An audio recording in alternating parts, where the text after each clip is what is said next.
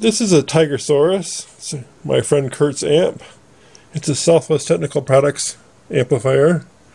It was uh, released as a kit. You could also get it pre-built. And it was released as a magazine article, Radio Electronics. Most of his uh, projects were. Daniel Meyer was the engineer.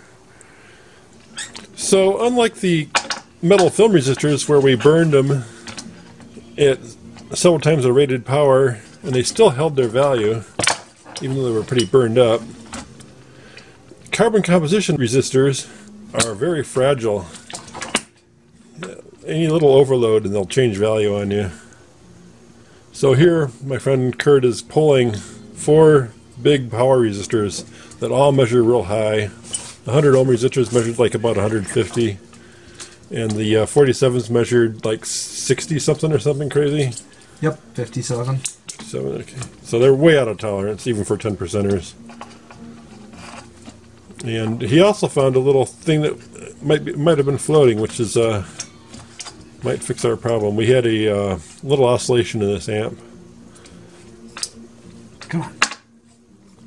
And the other 47 ohm resistor in the amp is uh, measuring 66.9 here. How it is. Hey, I'm emotionally attached to it. Leave it alone. And the final 100 ohm resistor is only 20% out of tolerance, 22% out of tolerance.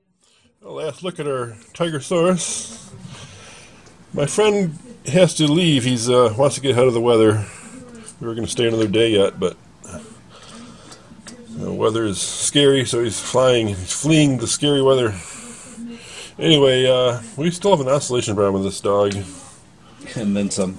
And, and then some. It's kind of strange. Maybe a bias and an oscillation problem. I think the oscillation is making the bias go crazy, though. We changed uh, four resistors, those carbon resistors, with some better resistors. Um, I know they deliberately use carbon core in some places. Well, there's not winding a coil around them in this amp, so I don't know why. But uh, replaced a lot. Most of the capacitors on the, on the board have been replaced now. It's kind of a mystery. There was some kind of uh, spill substance on this board, though, that we've been struggling with getting rid of. Kind of like shades of my Yamaha story. So we'll pack this one up. And another day, I guess. It's kind of a shame we can't keep working on it.